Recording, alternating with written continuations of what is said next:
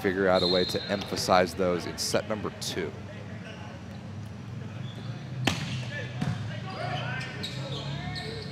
Oh, unbelievable.